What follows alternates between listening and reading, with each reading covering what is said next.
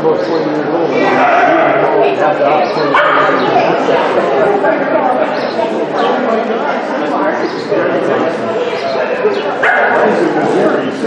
Well, I have one of my friends. she, uh,